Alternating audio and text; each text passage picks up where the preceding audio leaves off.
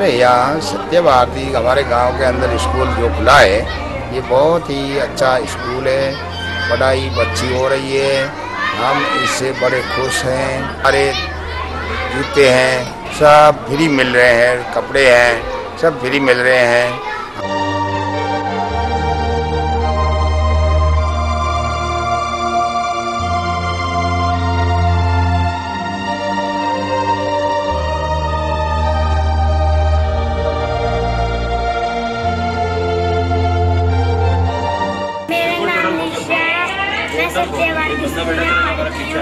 मेरे टीचर मुझसे बहुत प्यार करती हैं।